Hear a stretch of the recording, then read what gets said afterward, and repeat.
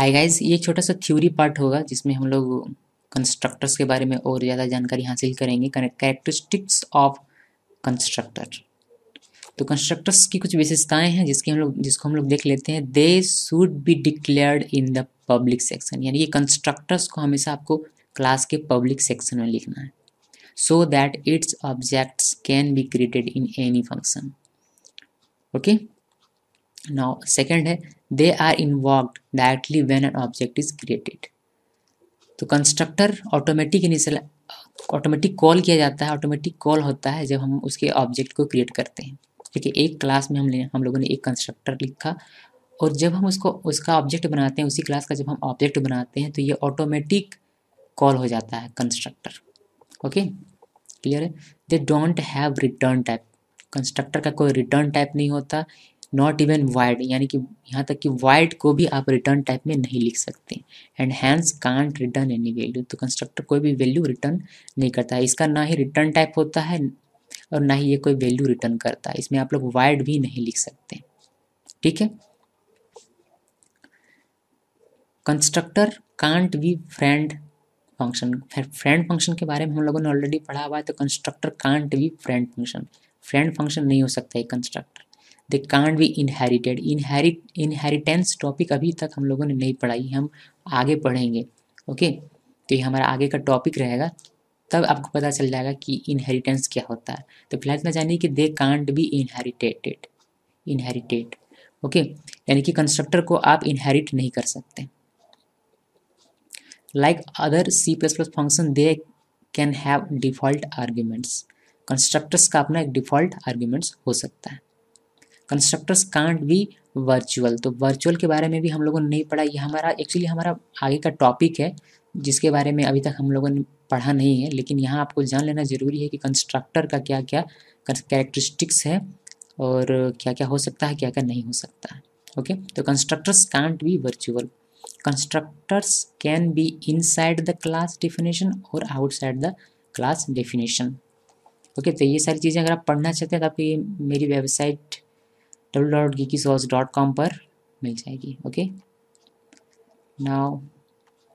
Next देखते हैं limitation of constructor no return type a constructor can not return a result which means that we can not signal an error during the object initialisation the only way of doing it is to throw an exception from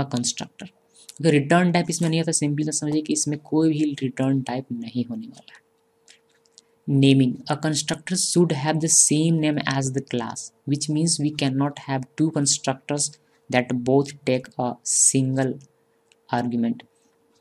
naming का limitation है यहाँ पर, यानी कि अगर जिस नाम का आपका क्लास होता है, उसी नाम का आप कंस्ट्रक्टर क्रिएट कर सकते हैं। किसी और नाम से आप कंस्ट्रक्टर क्रिएट नहीं कर सकते। यानी कि क्लास नेम जो है, वही आपका कंस्ट्रक्टर नेम होगा। ओके इट मीन्स ये हुआ कि आप अपने एक क्लास में दो कंस्ट्रक्टर क्रिएट नहीं कर सकते। लेकिन कुछ हम आगे ऐसी चीज़ें पढ़ेंगे जहाँ हम लोग आर्ग्यूमेंट्स को आर्ग्यूमेंट्स को मैनिपुलेट करके एक एक ही क्लास में दो या दो से अधिक कंस्ट्रक्टर क्रिएट कर सकते हैं वह भी एक ही नाम से। यानी कि क्लास का नाम अगर स्टूडेंट है तो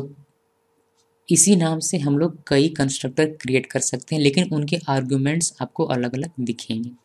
Okay compile time bound at the time when we create an object we must specify the name of a concrete class which is known at compile time there is no way of dynamic binding constructs at run time